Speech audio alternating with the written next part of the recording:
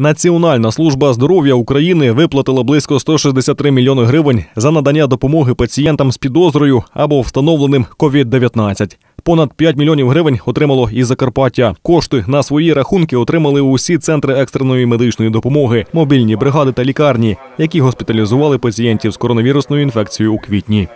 Національна служба здоров'я заплатить за квітень місяць всім кожній лікарні, яка надавала допомогу е, пацієнтам з коронавірусом. Ці дані Національна служба здоров'я отримує від е, центру громадського здоров'я. І відповідно до всіх, хто є в цьому переліку, всі лікарні отримують е, отримують таку оплату.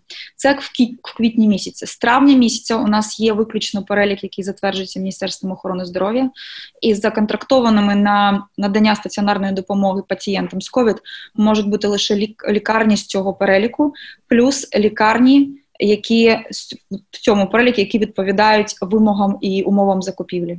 Виплати НСЗУ здійснює закладам на основі укладеному між ними договору. А вже порядок здійснення доплат медичним працівникам визначається колективним договором кожного медичного закладу окремо. Відтак відповідальність за розрахунок та нарахування таких виплат несе виключно керівник конкретного медичного закладу.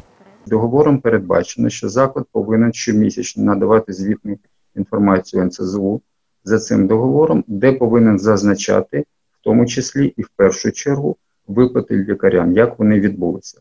Якщо е, з боку закладів будуть виявлені порушення Національної служби здоров'я України, то відповідно до цього до цього договору передбачені е, певні санкції, е, ну і можливо навіть е, про мови йти про розірвання договору. У Національній службі здоров'я наголосили, що хворих на коронавірусну інфекцію лікують виключно за державні кошти. Це означає, що мобільна бригада має усе необхідне для взяття масків у пацієнта вдома та транспортування їх до лабораторії. Ані засоби індивідуального захисту медпрацівника, ані бензин для машини пацієнт не повинен оплачувати з власної кишені все це є безоплатним для пацієнта, тобто повний перелік послуг, який може знадобитись конкретному пацієнту.